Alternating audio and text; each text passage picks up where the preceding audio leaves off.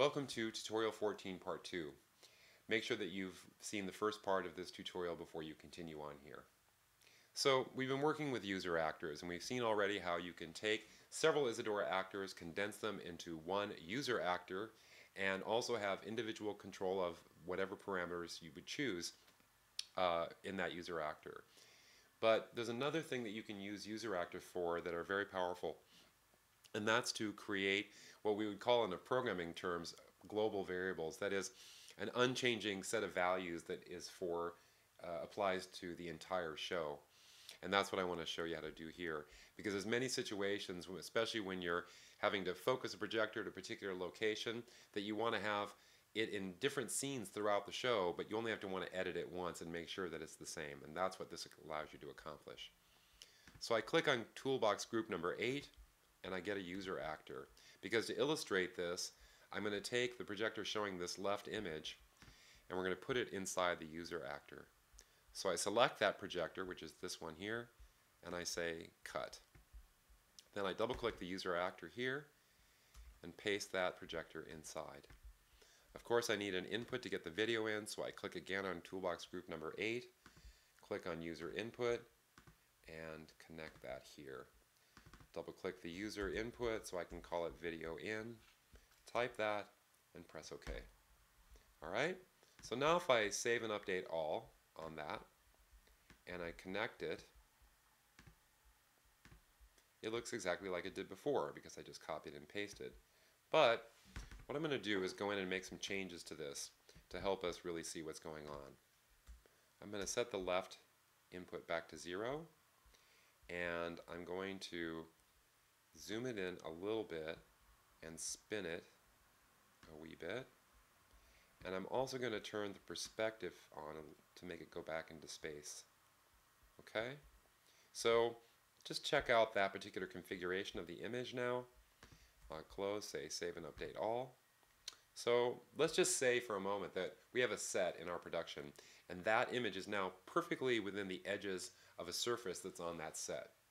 And now we want to do the same uh, shape but in a different scene. So I click here on the scene list to deactivate the first scene, go to the scenes menu and say insert scene, and then I'm going to add a movie player.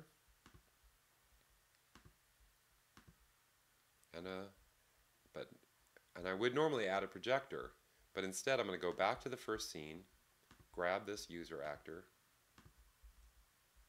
now go back here and I'll paste that so that when I hook this up, and now I'm going to show the media window so I can see which movie I'd like to play. Let's do number 15.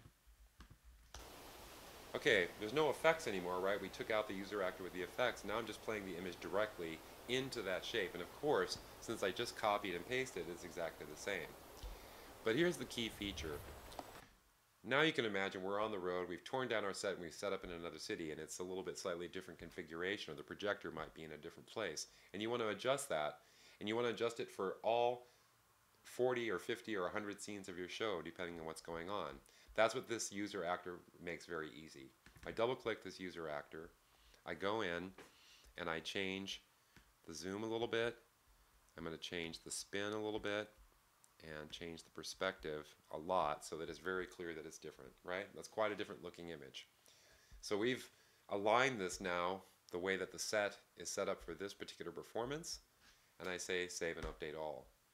Okay, but the great thing is it's this shape here but when I go to scene 2 where I have a copy of that user actor it's now in exactly the same place.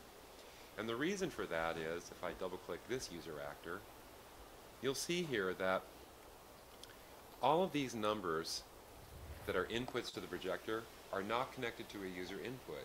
That means when I edit them here and I say save and update all, every copy of this user actor is updated in exactly the same way.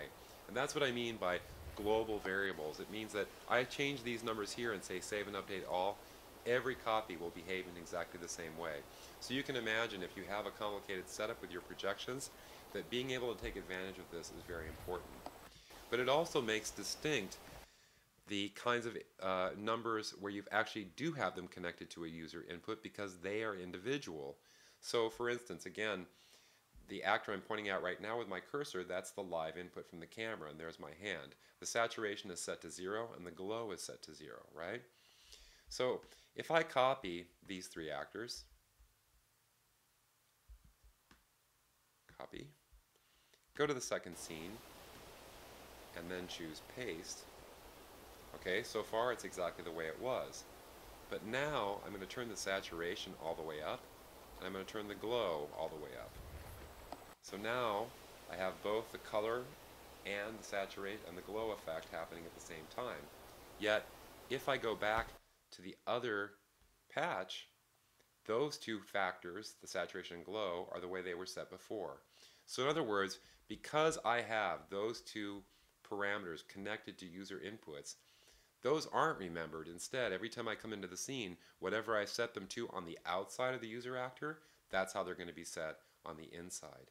So it's up to you to choose which part, which parameters you would like to have be externally controlled, which parameters you would like to be internally controlled, and the same for every copy of the user actor. Okay, so so far so good.